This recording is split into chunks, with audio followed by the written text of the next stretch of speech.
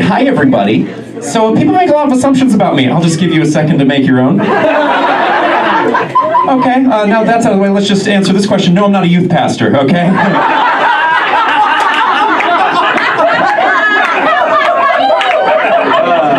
We all see it though. People say things to my face like that a lot. and They forget that this is where my feelings live. Uh, it's getting a little bit hurtful.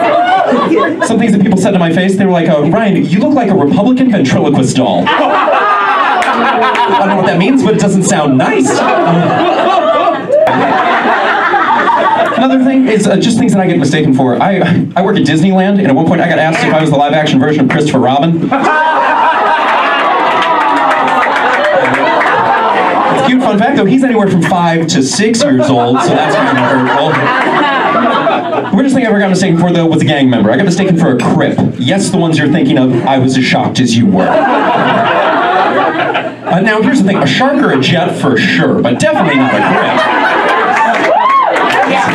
Because you can all picture uh, me fight dancing. Like, that's just a thing we see. Like, the worst part about it all, though, is uh, I was walking home from my buddy Kevin's house. He lives in an area I describe as a bit gangy, okay? I should have been there. I'm walking home, and I hear, I see three dudes all wearing blue. It didn't look like a sale at Target, guys. It didn't look like, let's match, twinsies! Uh, and they yell at me, Yo, Saber, what's up? And I turned around to look for Saber because I'm pretty sure that dude could mug me, okay? Look, I weigh 140 pounds. That is two second graders in a trench coat pretending to be an adult, okay?